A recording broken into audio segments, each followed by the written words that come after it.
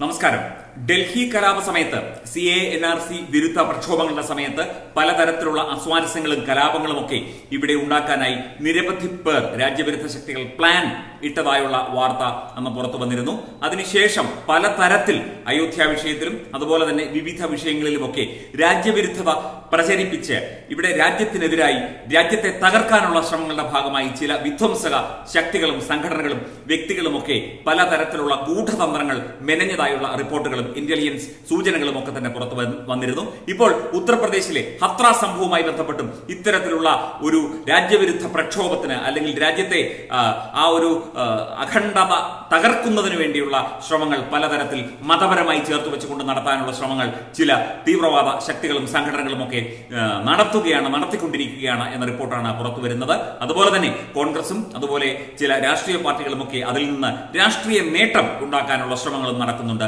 നമുക്ക് ഹത്രാസിലെ ചില കാര്യങ്ങൾ ഈ ഹത്രാസ് വിഷയവുമായി ബന്ധപ്പെട്ട് നടന്നു വന്ന ചില കാര്യങ്ങളെക്കുറിച്ച് ചില ഇടപെടലുകളെ കുറിച്ച് ഉള്ള റിപ്പോർട്ടുകളും സൂചനകളും ലഭിച്ചിട്ടുണ്ട്. എന്തൊക്കെയാണ് എന്ന് നോക്കാം. ഹത്രാസ് കേസുമായി ബന്ധപ്പെട്ട് വർഗീയ കലാപത്തിന് ശ്രമിച്ചു എന്ന കേസിൽ യു പി പോലീസ് അറസ്റ്റ് ചെയ്തതിൽ വളരെ പ്രധാനപ്പെട്ട ഒരു മാധ്യമത്തിന്റെ മാധ്യമ പ്രവർത്തകനും ഉൾപ്പെടുത്തു എസ് ഡി പി ഐയുടെ മുഖപത്രമായിരുന്ന തേജസ്. തേജസ് ഇപ്പോൾ പത്രമായി പുറത്തിറങ്ങുന്നില്ല. അവർക്ക് ഓൺലൈൻ എഡിഷൻ മാത്രമേ ഉള്ളൂ.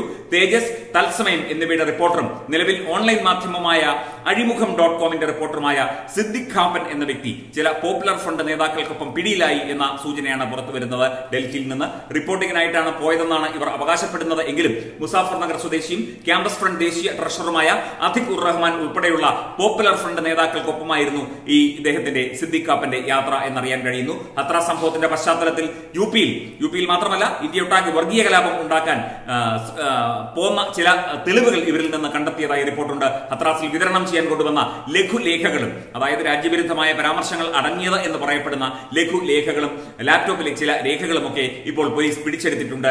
ഇവരെ കൂടാതെ ബറേജ് സ്വദേശി മസൂദ് അഹമ്മദ് അതുപോലെ റാംപൂർ സ്വദേശി അലം എന്നിവർ അറസ്റ്റിലായിട്ടുണ്ട്. ഹത്രാസിലേക്ക് പോകുന്നതിനിടയിൽ മധുരയിൽ നിന്നുമാണ് ഇവരെ പിടികൂടിയത്.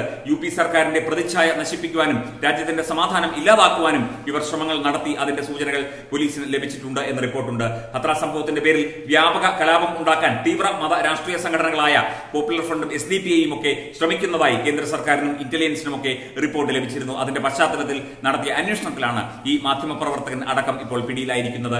ബിജ്നോർ ബുലൻഷഹർ സഹാറൻപൂർ ഹത്രാസ് അയോധ്യ പ്രയാഗ്രാജ് ലഖ്നൌ എന്നിവിടങ്ങളിൽ സോഷ്യൽ സോഷ്യൽ മീഡിയ വഴി വർഗീയ വിദ്വേഷം വളർത്തുന്ന പ്രചരണം നടത്തിയതിന് ഇതുവരെ ആകെ പതിമൂന്ന് കേസുകളാണ് രജിസ്റ്റർ ചെയ്തിരിക്കുന്നത്. സംസ്ഥാനത്തിന്റെ പുറത്തുനിന്ന് യു പിയിൽ വർഗീയ കലാപങ്ങൾ വ്യാപിപ്പിക്കാനുള്ള ഗൂഢാലോചന നടന്നതായുള്ള റിപ്പോർട്ടുണ്ട്. അതുപോലെ തന്നെ ഗൂഢാലോചനയിൽ വിദേശ ധനസഹായം പാകിസ്ഥാനിൽ നിന്നുള്ള ധനസഹായം ഉൾപ്പെടെ ഇവർക്ക് ലഭിച്ചതായുള്ള സൂചനകളും വരുന്നുണ്ട്. ഇത്തരത്തിലാണ് കാര്യങ്ങൾ പോകുന്നത്. ഒരു പ്രശ്നം ഉണ്ടാകുമ്പോൾ ആ പ്രശ്നം സ്വന്തം രാജ്യത്തെ പ്രശ്നമായി അത് പരിഹരിക്കുന്നതിന് പകരം ഇത്തരത്തിൽ അതിന്റെ മറവിൽ അതിനെ കുടപിടിച്ചുകൊണ്ട് വർഗീയ വിദ്വേഷവും വർഗീയ കലാപങ്ങളും പ്രചരിപ്പിക്കാനും രാജ്യമൊട്ടാകെ കലാപം അഴിച്ചുവിടുവാനുമുള്ള ചില ഗൂഢശക്തികളുടെ ഗൂഢ തീവ്രവാദ ശക്തികളുടെ ശ്രമത്തിന്റെ ഭാഗമായിട്ടാണ് ഇതൊക്കെ ഇവിടെ നടക്കുന്നത് എന്നാണ് കേന്ദ്ര ഏജൻസികൾ റിപ്പോർട്ട് ചെയ്യുന്നത്. ഈ വിഷയത്തിൽ കൂടുതൽ അന്വേഷണങ്ങളും പരിശോധനകളും തുടരും എന്നാണ് അറിയാൻ കഴിയുന്നത്. യു പിയിൽ യു പിയിലേക്ക് അനധികൃതമായി കടന്നു വന്ന് അവിടെ പ്രശ്നങ്ങൾ ഉണ്ടാക്കി അത് രാജ്യമൊട്ടാകെ വ്യാപിപ്പിക്കാനുള്ള ശ്രമത്തിന്റെ ഭാഗമായിട്ടാണ് ഇത്തരം ഇടപെടലുകൾ ഇത്തരം തരംതാണ രാജ്യവിരുദ്ധ ഇടപെടലുകൾ ഇവിടെ നടക്കുന്നത് എന്നാണ് റിപ്പോർട്ട്. ഈ ഒരു വിഷയം കേന്ദ്ര ഇന്റലിജൻസ് ഏജൻസികളും വിവിധ ഏജൻസികളും അന്വേഷണ സംഘങ്ങളും ഒക്കെ വിശദമായി തന്നെ പരിശോധിച്ചു വരികയാണ്.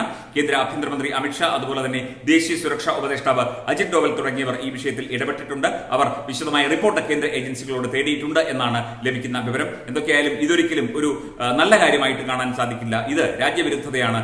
ഒരു പ്രശ്നമുണ്ടാകുമ്പോൾ അതിന്റെ മറവിൽ രാജ്യത്ത് കലാപം ഉണ്ടാക്കാൻ ശ്രമിക്കുന്നത് ഒരു തരത്തിലും ഈ രാജ്യത്ത് അംഗീകരിക്കാനാവില്ല. ഇവിടെ ഒരു നിയമ വ്യവസ്ഥയുണ്ട്. അതനുസരിച്ച് മാത്രം പ്രവർത്തിക്കാൻ സാധിക്കുന്നവർ ഇവിടെ നിന്നാൽ മതി. അല്ലാത്തവർക്ക് തനിഷ്ടപ്രകാരം എങ്ങോട്ട് വേണമെങ്കിലും പോകാം എന്നൊക്കെ ഇതിനു മുൻപ് പല നേതാക്കൾ പറഞ്ഞിട്ടുണ്ട്. ഇവിടെ ഈ ഈ ഭാരതത്തിൽ ഇന്ത്യയിൽ ഇവിടെ നിയമവ്യവസ്ഥ ഇവിടെ പ്രശ്നങ്ങൾ ഉണ്ടാകും. അത് പരിഹരിക്കാൻ കെൽപ്പുള്ള സർക്കാരാണ്. അത് വിവിധ സംസ്ഥാനങ്ങളിലും ഒക്കെ തന്നെ അതാണ്.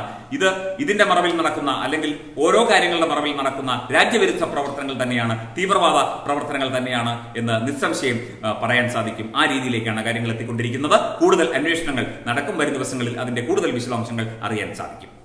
വെബ് ഡെസ്ക് പത്തുമണി ന്യൂസ്